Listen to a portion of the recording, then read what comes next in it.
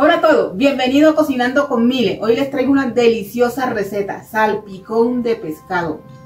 Delicioso, exquisito, acompañado con unos patacones bien crocantes, bien potentes, deliciosos. Así que vamos a empezar. Los ingredientes de nuestra receta son 1000 gramos de pescado. Yo voy a utilizar tilapia. Ustedes pueden utilizar el pescado que más les guste. Pueden utilizar hasta pescado seco. 400 gramos de tomate rojo, 200 gramos de pimentón, un tallo de cebolla larga, dos plátanos verdes, cuatro dientes de ajo y un limón. Bueno, vamos a empezar a salpimentar el pescado para que vaya tomando saborcito bien rico. Vamos a agregar dos cucharaditas de sal, eso es al gusto de cada persona. Tengo aquí el, mi cucharita. Esto lo voy mezclando de esta forma agregamos ajito al gusto pimienta también al gusto si no les gusta no hay ningún problema. El zumo de medio limón para un poquito de acidez. Ahora sí vamos a meter manos limpias para que todo, todo se incorpore. Y esto vamos a reservar Mientras el pescado se marina, continuamos con el guiso del salpicón. Vamos a picar tomate, esta vez no vamos a tallar, lo vamos a picar un poco grosera, de forma irregular, porque esto lo vamos a licuar. Acá tenemos ya la cebolla de rama picada.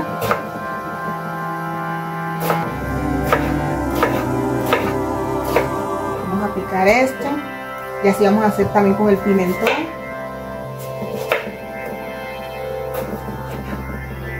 Bueno como pueden ver ya tenemos la cebolla previamente acá con dos cucharadas de aceite. Vamos a empezar con el guiso del salpicón de pescado. Ya tenemos la cebollita aquí toda acitronada. Vamos a agregar el pimentón. Se puede mezclar todo. A la misma vez ajo no importa el orden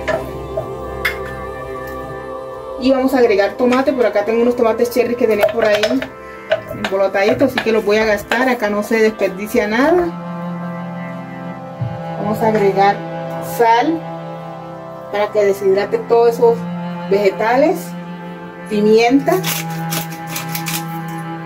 y jengibre, eso es opcional. A mí me encanta trabajar con jengibre.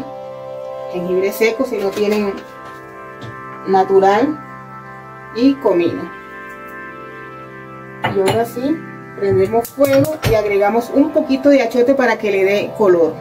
Si no tienen achote pueden utilizar paprika. Mezclamos y dejamos que se cocine, se cocine esto durante unos 10 minuticos para que todo esto se haga amigo para que se absorban todos esos sabores deliciosos unos a los otros. Delicioso.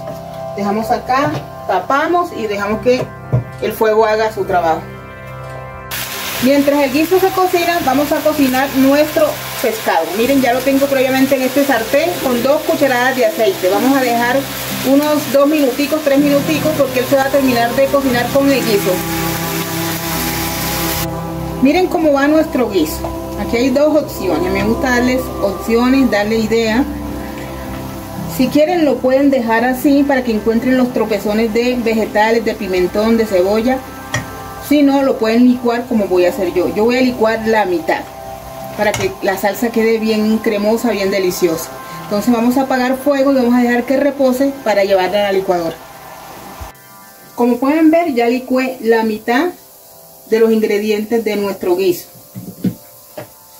Vamos a agregar, y acá quedaron este poquito, porque me gusta que se encuentren como tropezoncitos de pimentones.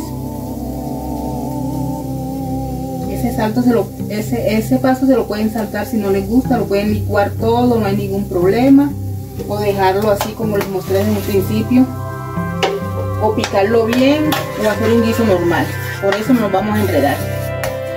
Por esto vamos a dejarlo que se cocine otro poquito y vamos a desmenuzar el pescado. Miren cómo quedó nuestro pescado. Como es un pescado que es muy fácil de desmenuzar, lo podemos hacer con un tenedor no hay ningún problema porque no tiene espina. Entonces, miren, es muy fácil. Lo vamos partiendo así, desmenuzando con el tenedor. Gusta que queden pedacitos gruesos, grandes, para que se sienta. Así, de fácil. Y así vamos a hacer con todo el pescado. Lo vamos a desmenuzar todo. Miren cómo quedó el pescado. Bien desmenuzadito. Me gusta que se vea, que se sienta como está comiendo pescado. Ya les había dicho que si tienen pescado seco también lo pueden utilizar. Pero lo dejan en remojo desde la noche anterior. Con el pescado que ustedes guste. Entonces esto lo vamos a llevar al guiso que tenemos en la estufa.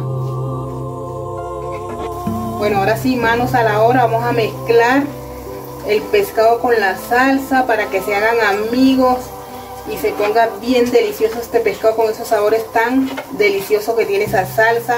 No saben los aromas que se respiran en esta cocina. Así vamos a hacer con el resto del pescado y esto es la parte verde de la cebolla rama que había reservado. Si no les gusta, lo pueden omitir, esto es para que le dé color. Entonces mezclamos todo. Miren cómo quedó nuestro salpicón. Ya está listo para comer. A mí me gusta así un poquito jugoso. Si ustedes lo quieren más sequito, lo dejan secar un poco más.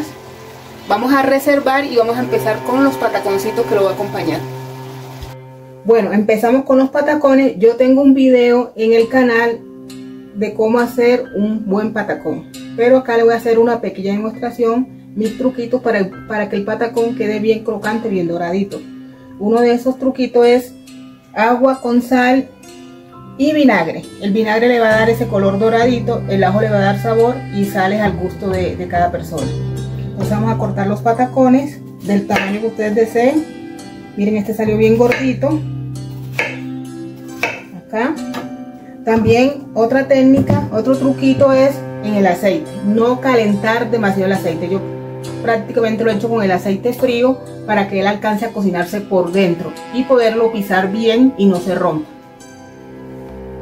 Bueno, ya tenemos acá el aceite, no está caliente, pero está tibio. Vamos a agregar el patacón, el plátano.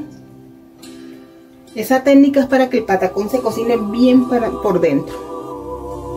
Ahora sí prendemos fuego y dejamos que se cocine. Bueno, mis queridos seguidores, miren lo que les estaba comentando. Miren, ellos están blanditos, no están crocantes. En este punto no tienen que estar crocantes, en la segunda fritura. Vamos a llevarla con esta tortillera. Si no tienen tortillera, pueden pisarlo con una tabla, con un plato, con este mismo. Pero no se vayan a complicar con eso. Machucamos y ya les estaré mostrando cómo van nuestros patacones. Bueno, miren cómo quedaron nuestros patacones. Yo los dejo enfriar porque si los mete calientes se rompen al tener contacto con el agua fría. Yo los dejo enfriar, ya están tececitos, los paso por esta agua deliciosa que le va a dar un sabor espectacular. Escurro, vuelvo mojo si quieren y escurro. Y esto va directo al aceite bien caliente, ahora sí bien caliente. Y así hacemos con el proceso de todos los patacones. Miren cómo quedó nuestro patacón. Miren esta maravilla crocante, miren eso, doradito. Y así vamos a hacer con todo el proceso de los patacones. Eso es una idea para que tengan. Miren qué delicia de salpicón de pescado. Pónganlo en práctica, está exquisito, les va a encantar. Bueno, mi gente hermosa, esto es todo por hoy. Nos vemos en un próximo video. Que Dios los bendiga. Chao.